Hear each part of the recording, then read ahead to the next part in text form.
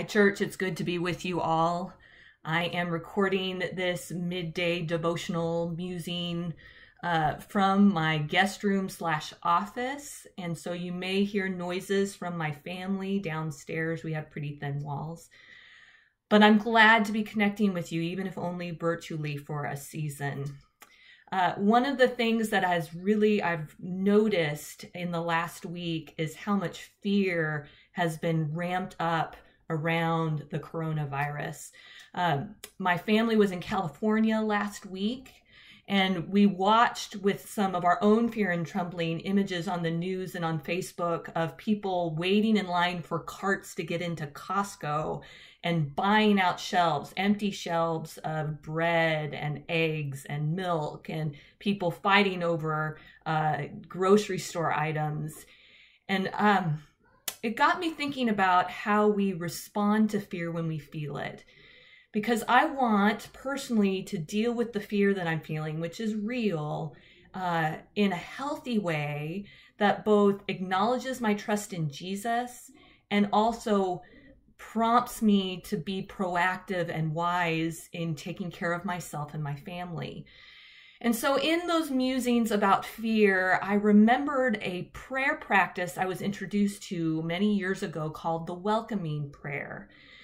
The welcoming prayer is not actually an ancient prayer practice. It was developed by a woman named Mary uh. I think that's how you pronounce her last name. She was from New York. Um, and she's a founder of the Contemplative Outreach organization, which, if you've heard of Father Thomas Keating and Centering Prayer, that's the organization that has really been important in making centering prayer an important prayer practice across the Christian tradition over the last probably 30 or 40 years. Um, and you can actually read more about welcoming prayer and where it came from and some of its history if you go to one of the websites that we've listed in the comment section below. Uh, that will give you more information on welcoming prayer, more than I can give you in this short video. So I do encourage you to look at that. What this practice allows you to do is to take a distressing feeling like fear, anger, anxiety, and really feel it, welcome it, not to dwell on it, but in order to release it and move on, all within the loving presence of God because God knows what we're feeling. God knows the fear that we are facing, and God wants to be present to us in that fear in such a way that we're able to let it go so that it doesn't paralyze us. I think that's what's key is when we really feel the feeling and then release it, it no longer paralyzes us, but we can actually move forward acting uh, to be proactively wise in how we deal with, for example, this virus. So there are three movements within this prayer practice. The first is to focus and sink in. The second is to welcome the feeling. And the third is to let go. Focus and sink in, welcome, let go. Let me just dig into those very briefly, what I mean by those three things, and then we're actually going to practice it uh, if you choose to continue the video. So, focus and sink in. This is about actually feeling the feeling. It's not about dwelling on the feeling or indulging in it or trying to justify it. It's just about feeling the feeling. Don't run away from it. I think so often when we feel bad feelings, we want to run away, say, re- think it out. For me, I'm like, okay, I shouldn't be feeling this way because of X, Y, and Z. Rather than just saying, okay, that's how I'm feeling right now. I'm feeling afraid. Uh, allow that fear to wash over you so that you actually feel it rather than trying to push it away or push it down deep within you.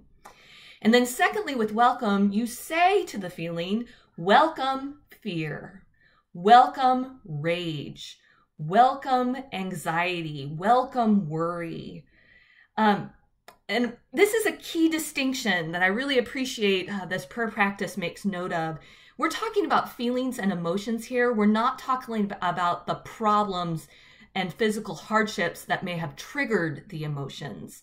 Um, we're not saying in this prayer, welcome coronavirus and all that comes with it, but welcome fear over the coronavirus. Remember, the welcoming prayer is for feelings and emotions, not for what triggered them. And this really is about when you welcome something, you're accepting it. And acceptance is not passive. Acceptance is a way to establish you in reality, to be able to acknowledge this is where I'm at. I'm not going to fight it. I'm not going to push it away. I'm just going to acknowledge it so that then you can respond to the situation effectively. So if you're terrified about COVID 19, that fear may be immobilizing you. And so accepting and releasing the fear may free you to deal with the issue. That's why acceptance of the emotion is so important. It can free you to actually do something about it. So focus and sink in, welcome, and then finally let go. There are several ways to do this, and you can actually look at those websites that I cited below in the comment section for several ways to do this step. My favorite is a list of four sayings. Uh, these come directly from Mary Mrozowski. So she says, I let go of my desire for security and survival. I let go of my desire for esteem and affection. I let go of my desire for power and control. I let go of my desire to change the situation. I think these these four statements are so important right now in the season of coronavirus because there is so much uh, about this that is disruptive to our sense of security and survival, to our sense of power and control. To, I mean, we have so much desire to change the situation, and there's so much that we can't do about it. And so, again, um, these four statements allow us to release those feelings into the loving arms of God, who is the one who is taking care of us in the midst of our fear, in the midst of our worry, in the midst of our anger. So, in light of all of that, I want us to practice this right now for our midday practice. So, I encourage you to close your eyes and take three deep breaths.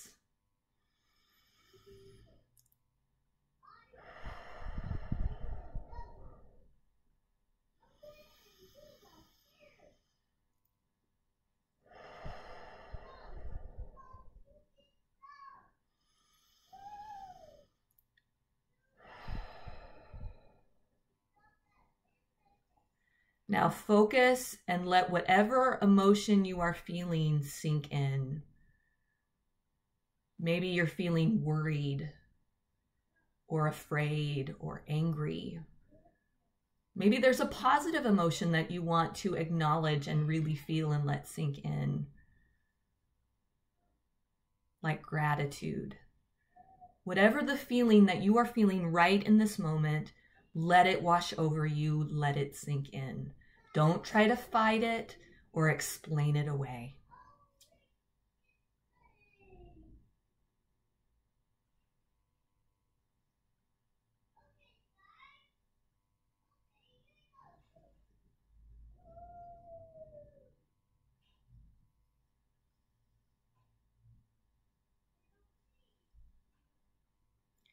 And now take that emotion, whatever it is, and welcome it. Say to it directly, Welcome fear. Welcome gratitude. Welcome anxiety. Welcome anger.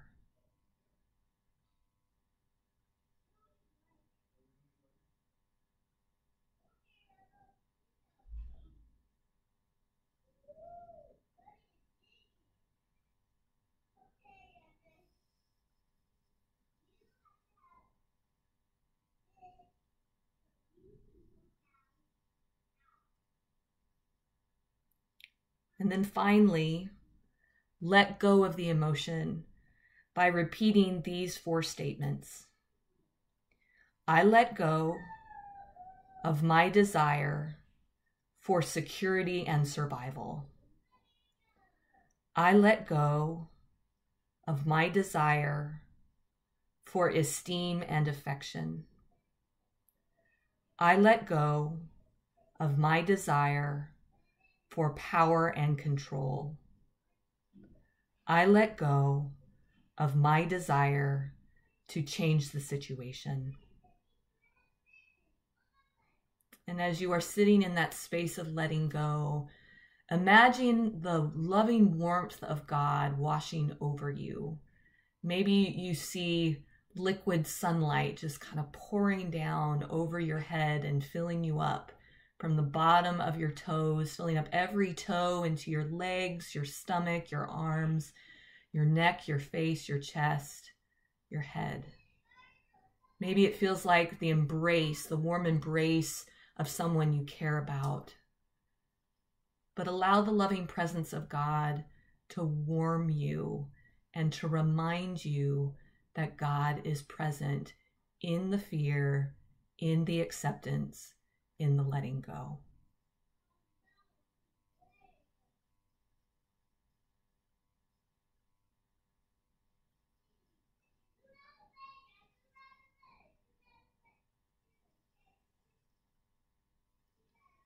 God, we thank you that you are with us.